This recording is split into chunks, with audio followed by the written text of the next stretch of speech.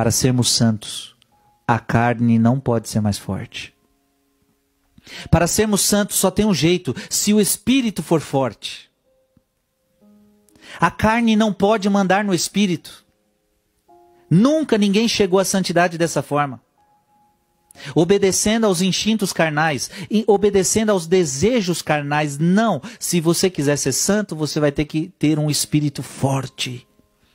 Ou seja, a carne quer o pecado e você vai dizer não. A carne quer comer mais do que deve e você vai dizer não. A carne quer fazer sexo fora do casamento e você vai dizer não. A carne quer, a carne quer sentir ciúme e você vai dizer não. A carne quer sentir inveja e você vai dizer não. A carne quer guardar mágoa e você vai dizer não. O espírito forte.